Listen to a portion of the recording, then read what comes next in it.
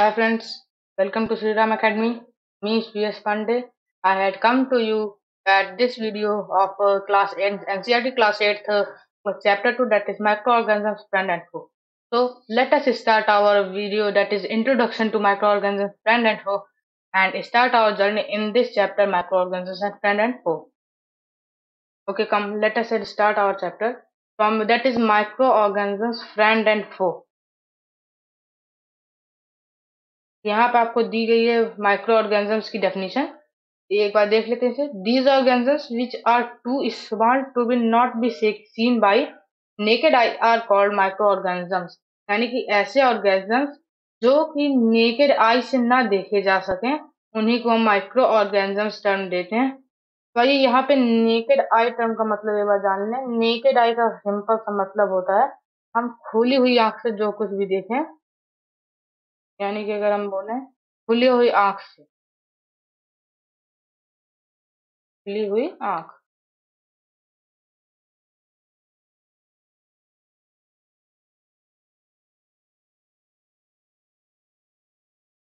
जो कि जो कि ऐसे ऑर्गेन्जल्स जो कि बहुत ही ज़्यादा छोटे हों और जिससे कि हम इनको देख ना सके, खुली हुई आँखों से, अपनी खुली हुई आँखों से देख ना सके, वही ऑर्गेनिजम्स माइक्रो ऑर्गेनिजम्स कहलाते हैं। तो ऐसे ऑर्गेनिजम्स लगभग हर जगह पाए जाते हैं, जहाँ पे भी आप सोच सकते हैं, वहाँ पर पाए जाते हैं।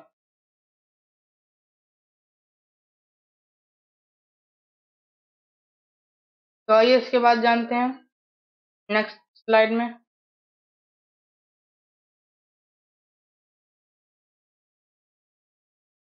आइए जाने इस जो हमारे चैप्टर का नाम है माइक्रो ऑर्गेनिजम्स प्लान डेंफो इसका मतलब क्या है?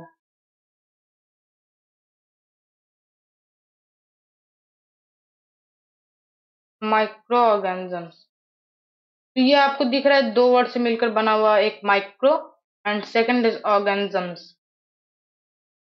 तो फिर यहाँ पे माइक्रो का मीन मतलब है तो ये दोनों का अलग अलग मतलब देखते हैं माइक्रो का मतलब हो गया तो स्मॉल या फिर too small to sorry not to be seen by naked eye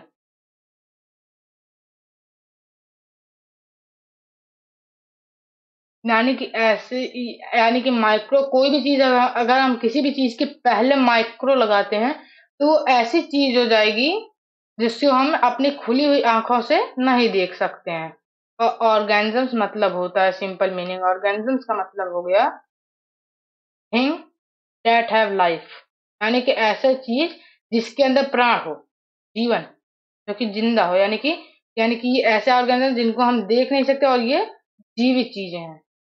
ये है माइक्रो ऑर्गेनिजम्स अब यहाँ पे हम इनके फ्रेंड एंड फो टर्म का मीनिंग जानते हैं। ये यहाँ पे फ्रेंड और फो क्या दिखा रहा है यहाँ पे इस चैप्टर में? तो फिर सिंपली यहाँ पे फ्रेंड का मीनिंग हो गया। फ्रेंड का एक तरीके से मतलब होता है हिंदी मतलब दोस्त होता है।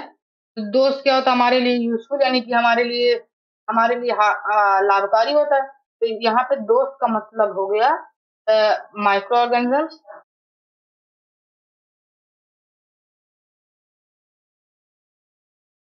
that are helpful to us यानी कि ऐसे जीव जो कि हमारे लिए फ़ायदेमंद हो, यानी कि जो हमारे लिए यूजफुल हो, ऐसे ऑर्गेनिज्म हम क्या कहेंगे? माइक्रो ऑर्गेनिजम्स की कैटेगरी में फ्रेंड कैटेगरी में आएँगे ये। और फो क्या हो जाते हैं? फो का हिंदी में मतलब जैसे कि फ्रेंड का दोस्त होता है, वैसे फो का मतलब होता है दुश्मन। यानी कि ऐसे ऐसे ऑर्गेनिज्म जो कि हमारे लिए दुश्मन टाइप के हों, जो कि हमारा फ़ायदा हमारा हित ना सोचें those are those who are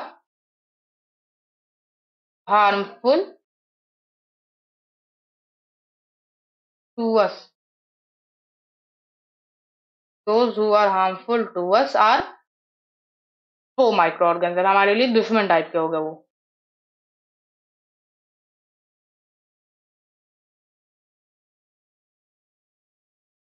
आइए नेक्स्ट स्लाइड पे चलते हैं, जिसमें हमने major groups of micro organisms के बारे में पढ़ते हैं। तो micro organisms mainly five groups में क्लासिफाई किए जाते हैं। फाइव मेजर ग्रुप्स में माइक्रो ऑर्गेनिजम्स हम डिवाइड करते हैं।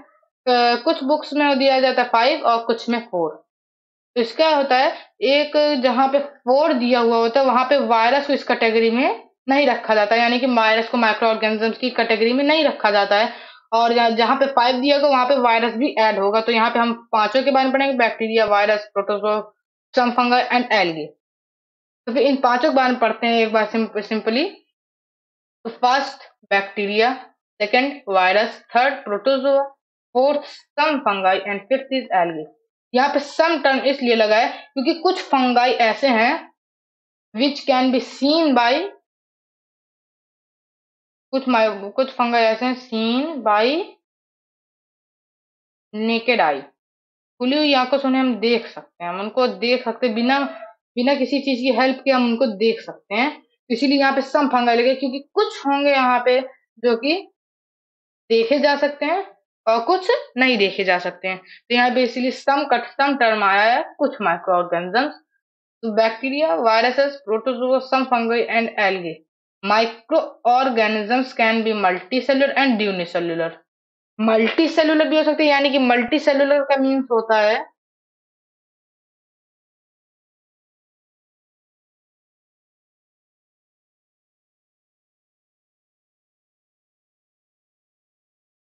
आइए मल्टी सेलुलर का मीन जानते हैं।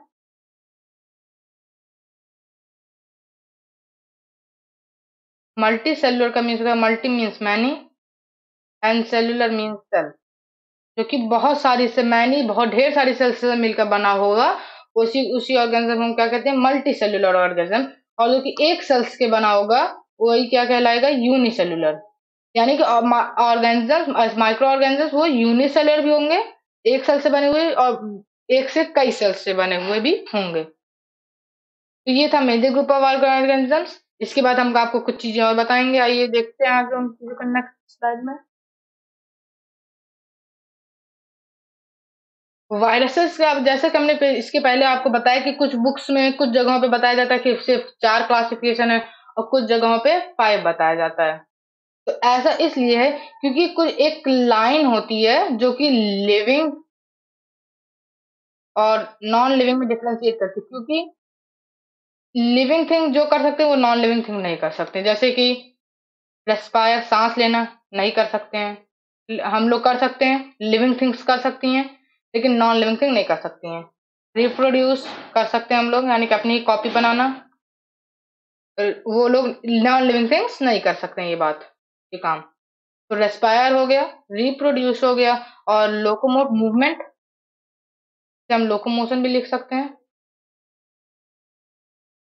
मूवमेंट नहीं हो सकता उनके द्वारा। और ऐसी कई चीज़ें होती है जो कि लिविंग तो वायरस क्या होता है, वो एकदम इसी बॉर्डर लाइन पे होता है। दिस इज़ वायरस बिकॉज़ जब वायरस आए यहाँ पे थोड़ी जगह इरेज करके देखते हैं. क्यों ऐसा है? तो वायरस जब एक आप लोग इसके पहले के क्लासेस में सेवंथ में होस्ट के बारे में पढ़े होंगे, यानी कि जब कोई ऑर्गेनिज्म दूसरे ऑर्गेनिज्म के ऊपर डिपेंड करके अपना फ़ूड लेता है और कुछ भी लेता है तो उसी को क्या, जिस ऑर्गेनिज्म के ऊपर रहता है, उसे हम होस्ट कहते हैं और जो ऑर्गेनिज्म रहता है, उसे हम पैरासाइट कहते हैं. तो यहाँ पे होस्ट सेल। यहाँ पे होस्ट क्या होंगी? सेल्स होंगी। तो कौन से सेल्स? बैक्टीरिया भी हो सकता है, बैक्टीरियम। और इसके बाद जो है हमारा और कोई भी cell, animal cell, plant cell भी हो सकती है। तो यहाँ पे जो होस्ट सेल में जब वो पहुँचता है तो ही तो वो लिविंग ऑर्गेनिज्म जैसा बिहेव करता है, जैसे कि वो वहाँ पे अपनी कॉपी बनाना शुरू कर देता है। रिप्रो, रिप्रोड्यूस करने लगता है रैपिडली और रिप्रोड्यूस क्योंकि लिविंग की प्रॉपर्टी तो वो क्या हो गया? वायरस आप कहोगे लिविंग है। तो आपने कह दिया भी वायरस लिविंग क्योंकि वो रिप्रोड्यूस कर रहा है। जिस, किसकी मदद से होता है उस सेल के डीएनए की मदद से रिप्रोड्यूस करता है। डीएनए मीन्स न्यूक्लिक एसिड तो आगे देखते जब वो किसी हॉस्ट सेल में अभी नहीं पहुँचा होगा, नहीं होगा हॉस्ट सेल में नहीं पहुँचा, ऐसे आपके इन्वायरमेंट में ही है तो फिर वो नॉन लिविंग टर्म बिहेव करेगा ना तो वो रेस्पायर करेगा। यानी कि जो वायरस है, वो तो ना तो रेस्पायर करेगा, ना रिप्रोड्यूस ना मूवमेंट बस वो ऐसे वहीं पे रहता है तो वो क्या हो गया किस तरीके से बिहेव कर रहा है? नॉन लिविंग वो दोनों तरह बिहेव कर रहा है। नॉन लिविंग लिविंग इसीलिए उसको बॉर्डर पे रखा जाता है।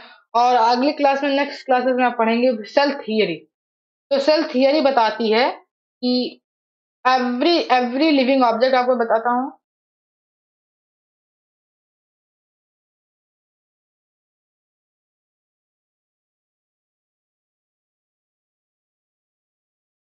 तो सेल थियरी का एक पॉस्टुलेट मैं आपको बताऊँ। That is all cell are made up of और सॉरी और ऑर्गेनिजम्स यहाँ पे कर लीजिए organisms are made up of cells तो इसके लिए वायरस जो है वायरस जो होता है इसके लिए एक्सेप्शन है। इस थियरी के लिए वायरस एक्सेप्शन है। क्यों एक्सेप्शन है? क्योंकि वायरस किसी भी सेल से नहीं बना है। वो कौन सा है? ए सेलुलर जिसके, जो कि किसी सेल से ना बना ए सेलुलर होते हैं वायरस वायरॉइड एंड इसी ये सब क्या है? ए सेलुलर ऑर्गन जो कि किसी भी सेल से नहीं बने होते इसलिए, इसके लिए वायरस क्या है? इस थ्योरी के लिए एक्सेप्शन है। इस थियोरी के लिए ये सब एक्सेप्शन है। तो फिर वायरस के बारे में आपने आपको इतनी जानकारी मिल चुकी आइए एक चीज़ और यहाँ पे जानते हैं अभी हम।